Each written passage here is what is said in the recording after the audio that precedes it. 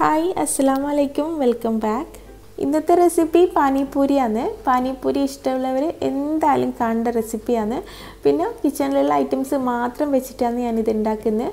ഇനി ബാക്കിയുള്ള കാര്യങ്ങളെല്ലാം വീഡിയോയിൽ പറയാം. ഇപ്പം നേരെ വീഡിയോ കാണാം. അപ്പോൾ നമുക്ക് പാനിപ്പൂരി ഉണ്ടാക്കി തുടങ്ങാം. ആദ്യം തന്നെ പൂരി ഉണ്ടാക്കാൻ വേണ്ടിയിട്ടുള്ള മാവ് കുഴച്ച് വെക്കുക അതിന് വേണ്ടിയിട്ട് ഒരു ബൗൾ എടുക്കുക. എന്നിട്ട് അതിലേക്ക് ഒരു കപ്പ് റവ ആ, ഇട്ട് കൊടുക്കുക. അപ്പോൾ ഇത് വറുത്ത റവയായാലും വറുക്കാത്ത റവയായാലും ഒന്നും കുഴപ്പമില്ല. ഒരു കപ്പ് റവ അങ്ങ് ഇട്ട് കൊടുക്കുക. ഇനി ഇതിലേക്ക് വേണ്ടത് മൈദയാണ്. അപ്പോൾ ഒരു കപ്പ് റവക്ക് രണ്ട് ടേബിൾ സ്പൂണ് മൈദ എടുക്കുക. എന്നിട്ട് ഇതിലേക്ക് ആവശ്യത്തിനുള്ള ഉപ്പും കൂടി ഇട്ടിട്ട് നോർമൽ പച്ചവെള്ളത്തിൽ ഇത് കുഴച്ചെടുക്കുക. ആദ്യം ഇതെല്ലാം കൂടിയിട്ടൊന്ന് മിക്സ് ചെയ്യുക. എന്നിട്ട് കുറച്ച് കുറച്ചായിട്ട് വെള്ളം ഒഴിച്ചിട്ട് ഇത് മിക്സ് ചെയ്തെടുക്കുക. അത് കുഴച്ചെടുക്കുക.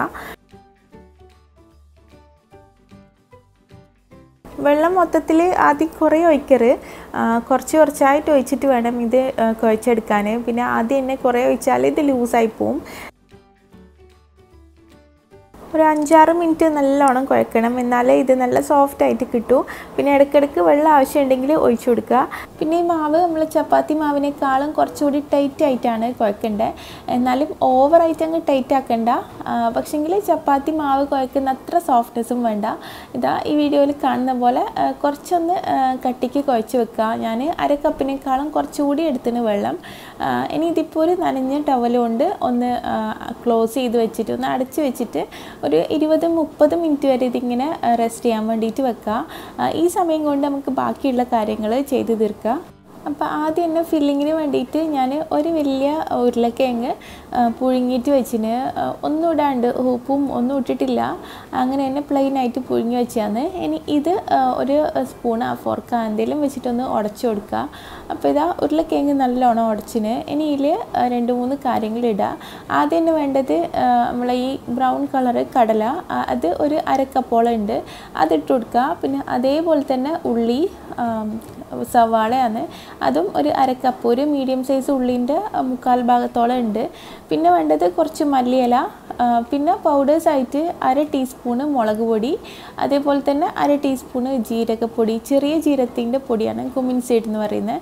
പിന്നെ ആവശ്യത്തിനുള്ള ഉപ്പും കൂടി ഇടുക പിന്നെ ഇതിലേക്ക് ഓപ്ഷനലായിട്ട് ഞാൻ ഇടുന്നത് ചാട്ട് മസാല ആണ്. ചാട്ട് മസാല ശരിക്കും മസ്റ്റാണ് പക്ഷേങ്കിൽ നമ്മൾ വീട്ടിലുള്ള ഇൻഗ്രീഡിയൻസ് മാത്രം വെച്ച് ചെയ്യുന്നതുകൊണ്ട് ചാട്ട് മസാല ഇല്ലെങ്കിൽ അങ്ങ് സ്കിപ്പ് ചെയ്യുക കാര്യം എല്ലാവരുടെ കിച്ചണിലും ഉണ്ടാകണമെന്നില്ലല്ലോ അതുകൊണ്ട് ചാട്ട് മസാല നിർബന്ധമില്ല. അതങ്ങ് സ്കിപ്പ് ചെയ്യുക ഞാനിപ്പോൾ ഉള്ളതുകൊണ്ട് കുറച്ച് ഇട്ടതാണ് അപ്പം അത് വേണമെന്ന് ഒരു നിർബന്ധവും ഇല്ല കേട്ടോ. കൈ വെച്ചിട്ട് തന്നെ ഇത് എല്ലായിടെയും ഒന്ന് മിക്സാക്കി കൊടുക്കുക.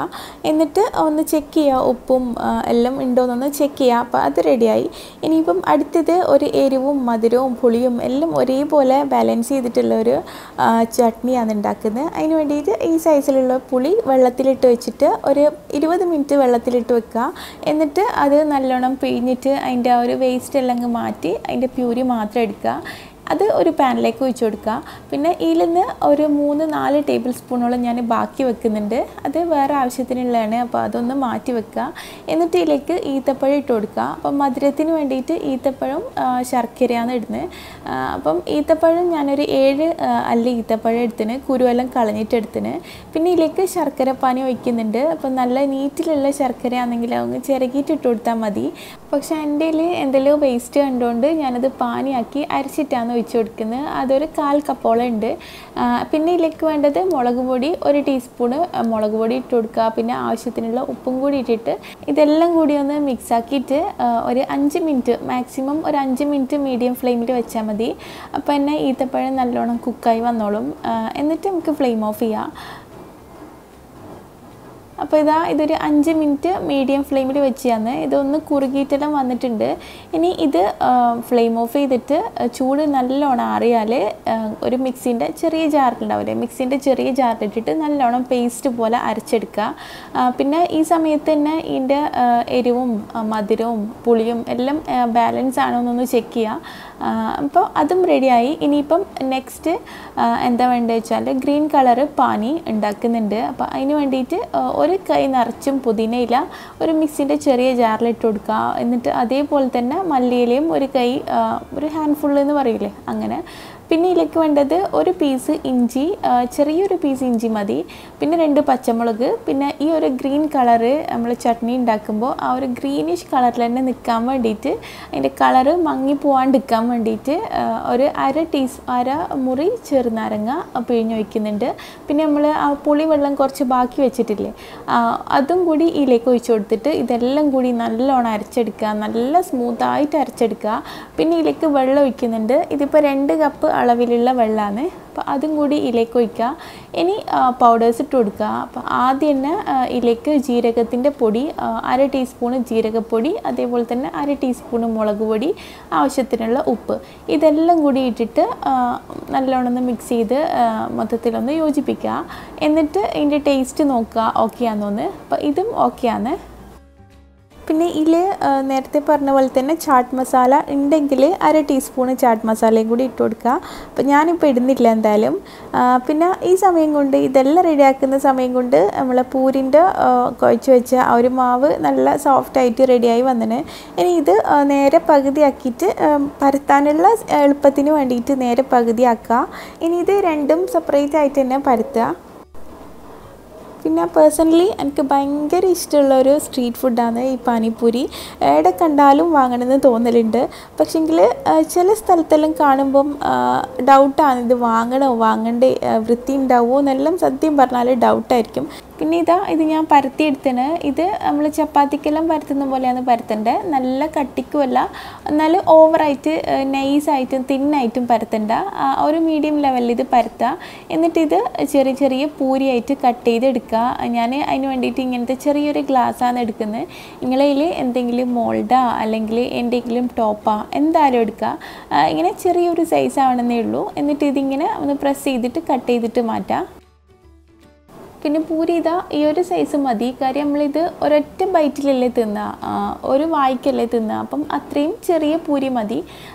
ഇതേപോലെ തന്നെ ബാക്കിയുള്ളതെല്ലാം കൂടി ഇങ്ങനെ ചെയ്തെടുക്കുക പിന്നെ നമ്മൾ നേരത്തെ ആ ഒരു ഇത് ഒരു പീസ് ഒരു പോർഷനല്ലേ പരത്തിയിട്ടുള്ളൂ. അതിന്റെ ബാക്കി പോർഷനും കൂടി ഇങ്ങനെ പരത്തുക. ഇതേപോലെ തന്നെ ചെറിയ ചെറിയ പൂരിയായിട്ട് ഇങ്ങനെ കട്ട് ചെയ്തിട്ട് എടുക്കുക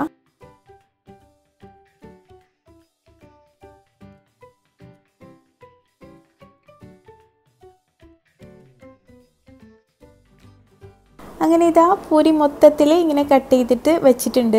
ഇനി ഇതിപ്പോൾ ഇത് ഫ്രൈ ആക്കാം. അതിന് വേണ്ടിയിട്ട് ഓയിൽ ചൂടാക്കാൻ വെച്ചിന്. ഓയിൽ എടുക്കുമ്പോൾ ഏതെങ്കിലും ഫ്രൈ ചെയ്യാൻ യൂസ് ആക്കുന്ന ഓയിൽ എടുക്കുക. വെളിച്ചെണ്ണ എടുക്കേണ്ട. ഞാനിപ്പോൾ സൺഫ്ലവർ ഓയിലാണ് എടുത്തത് എന്നിട്ട് ഓയിൽ ഒന്ന് ചൂടായാൽ ഒരു മീഡിയം ഹീറ്റിൽ വെക്കുക.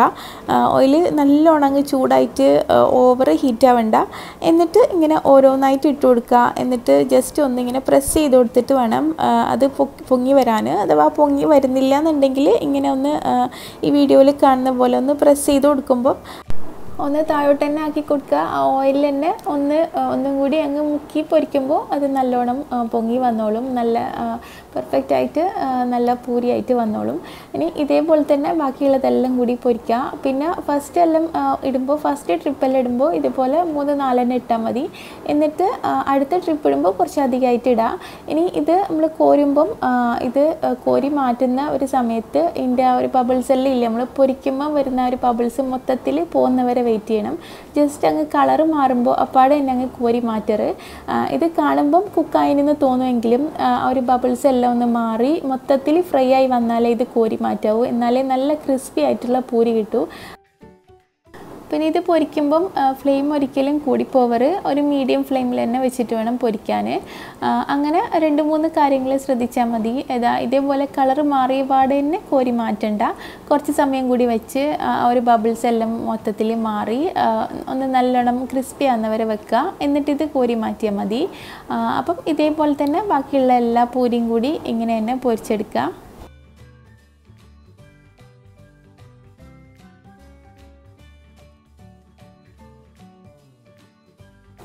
അങ്ങനെ ഇതാ ഒരു ട്രിപ്പ് പൂരി ഇപ്പോൾ പൊരിച്ചെടുത്തിന് ഇനി ഇതേപോലെ തന്നെ ഒരു പ്രാവശ്യം കൂടി പൊരിക്കാനുള്ളതുണ്ട്. അപ്പോൾ അതും കൂടി ഇങ്ങനെ തന്നെ പൊരിക്കുക